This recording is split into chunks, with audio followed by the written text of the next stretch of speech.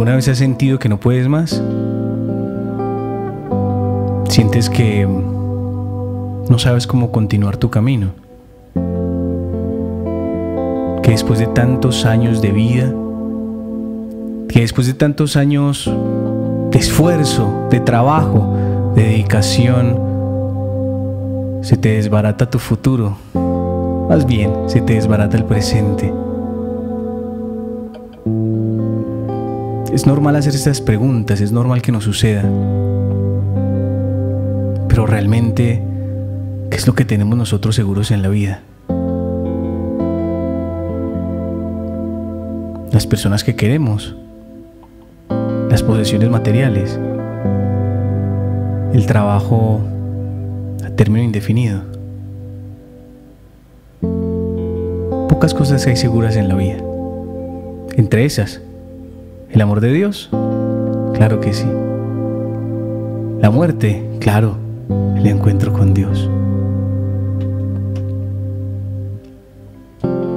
Yo te quiero invitar en un instante para que allí, abriendo tu corazón a este momento, abriendo tu corazón a la caricia de Dios, cierres tus ojos y le presentemos al Señor todas esas situaciones, todas esas circunstancias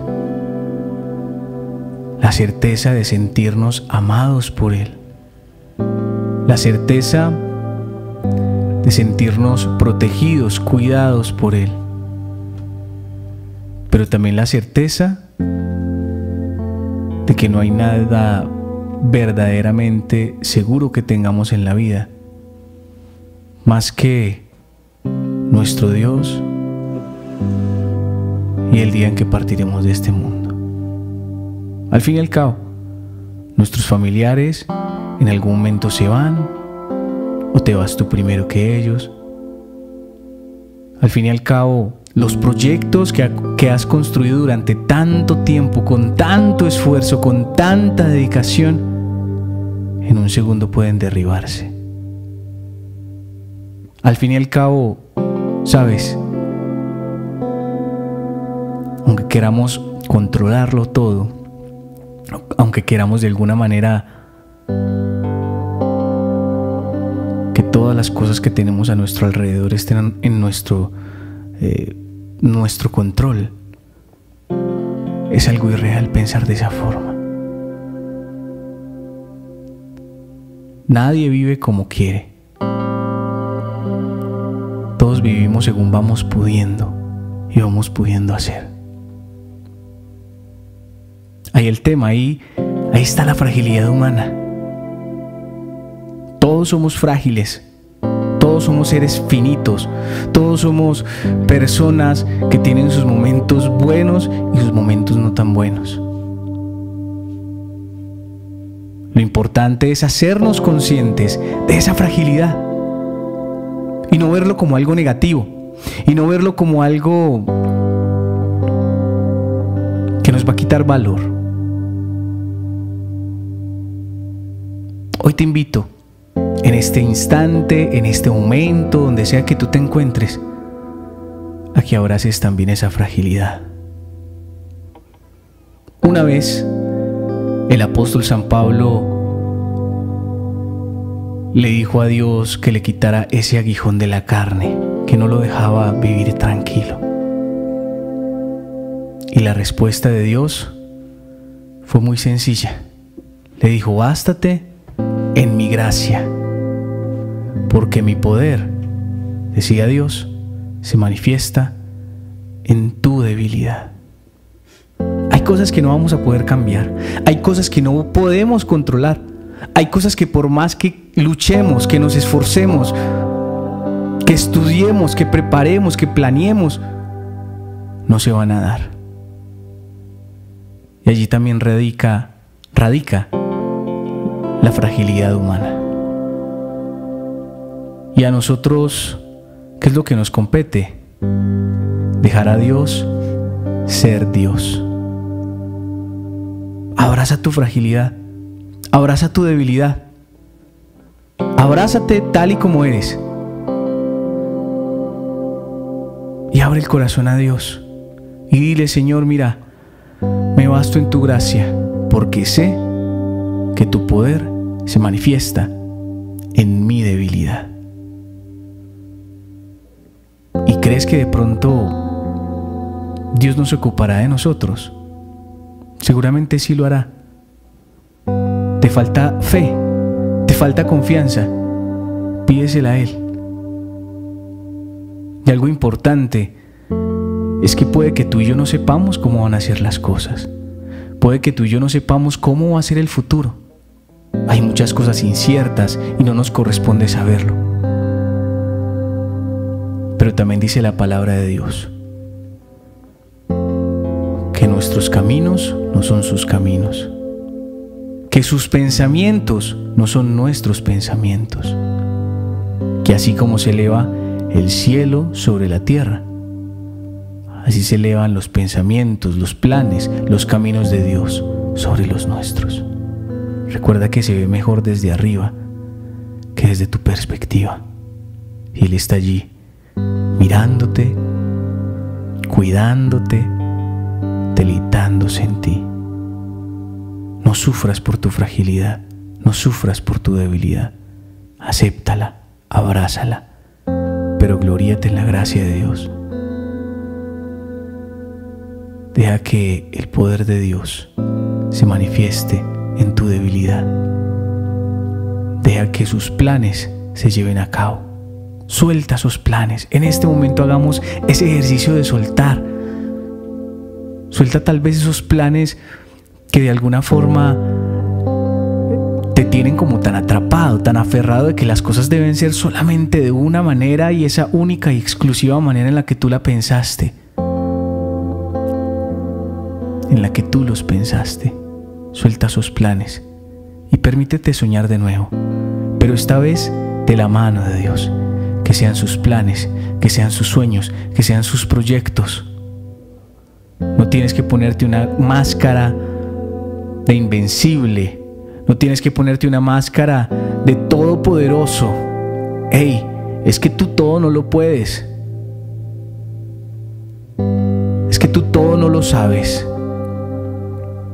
El que todo lo puede, el que todo lo sabe, es Dios. Quítate esa máscara, permítete mostrarte vulnerable, permítete mostrarte, mostrarte frágil ante Dios. Y si es momento de llorar, que salga esa lágrima. Y si es momento de pedir perdón, pide perdón. Y si es momento de perdonar, abre el corazón para ello. Deja a Dios ser Dios. Tú abraza tu fragilidad, tu debilidad. Y gloríate, gloríate en Dios. Dale gracias a Dios también porque al fin somos sus hijos. Y eso es bonito. Pero lo bueno de ser hijos es que tenemos un papá y que no tenemos que poder con todo. Si te tienes que derrumbar, hazlo. No tienes que poder con todo. Pero, sabes, Dios te da fuerzas para asumir cada situación, para luchar contra toda adversidad. Dios te da la fortaleza que te hace falta. Puede que tú no puedas todo, pero Dios sí lo puede todo en ti. ¿Qué tal si cantamos? Si abrimos el corazón si le dices a Él que Él es que perdona tus maldades, que Él es el que sana tu corazón, que Él es el que te libra de toda opresión. Vamos, canta conmigo, dile. Eres quien perdona mis maldades. Eres quien sana mi corazón. Eres quien me libra de toda opresión. Tu amor y tu ternura me acompañan. Eres quien perdona mis maldades. Eres quien sana mi corazón eres quien me libra de toda opresión. Tu amor y tu ternura me acompañan. Bendice alma mía al Señor. No te olvides de su gran favor.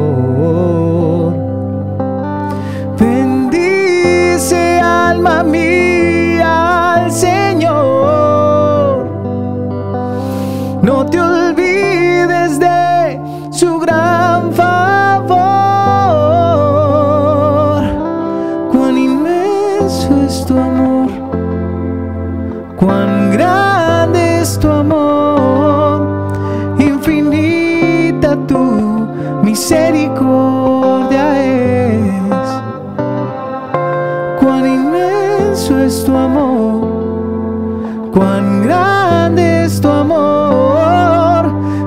Cielo de la tierra.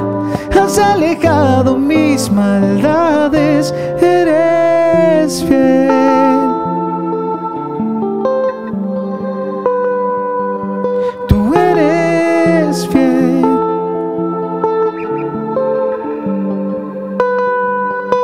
Tú eres fiel. Tú eres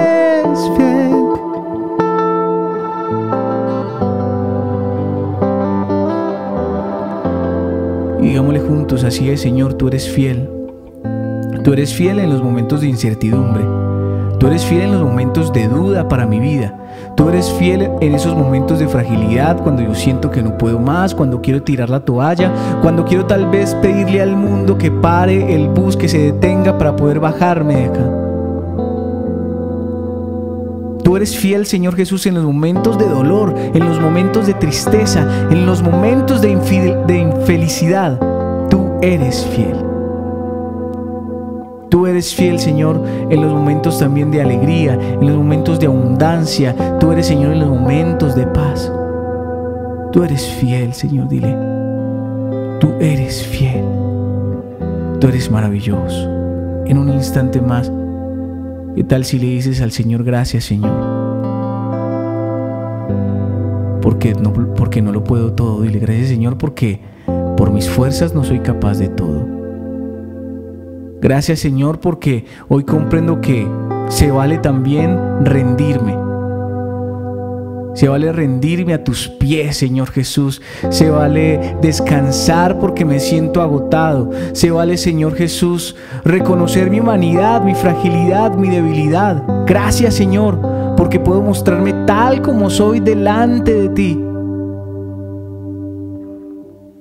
Porque si bien para algunas personas o tengo que ser fuerte para mi familia o tengo que ser fuerte porque tengo que ser papá, mamá y tengo que estar allí para mis hijos, tú me das las fuerzas, Señor.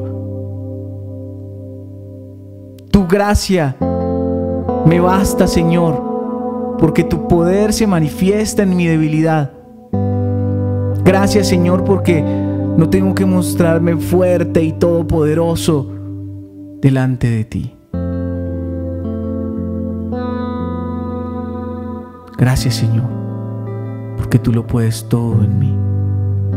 Tus ayudas, Señor, tu fortaleza, tu todo lo que me das me ayuda a afrontar este mundo. Me ayuda a afrontar esta realidad. Me ayuda a ser mejor padre, a ser mejor madre, a ser mejor hijo. Me ayuda a entregar amor. Madre María, a ti queremos pedirte tu intercesión. Tú fuiste quien le arrancó los primeros o el primer milagro a Jesús de sus manos, Madre María. Te pedimos en este momento que nos cubras con tu precioso manto maternal. Madre María, te pedimos que intercedas por nosotros ante Jesús para que así Jesús interceda por nosotros ante el Padre. Madre, tú fuiste muy fuerte. Madre María, tú estuviste en los momentos más importantes y más dolorosos de la vida de Jesús y de alguna manera sé que se convirtieron en los momentos más dolorosos de tu vida. Madre María, intercede por nosotros ante Jesús para que nosotros recibamos algo de esa fortaleza, pero que tengamos cuenta, que tengamos en cuenta que nuestra fortaleza no reside en nosotros, sino que viene de lo alto. Por eso decimos, Dios te salve María, llena eres de gracia, el Señor está contigo, bendita tú eres entre todas las mujeres, y bendito es el fruto de tu vientre Jesús. Santa María, Madre de Dios, ruega por nosotros los pecadores, ahora y en la hora de nuestra muerte. Amén. No olvides que no tienes por qué poderlo todo, que no tienes por qué saberlo todo, que no tienes por qué ser siempre suficiente para todos, no, para toda actividad.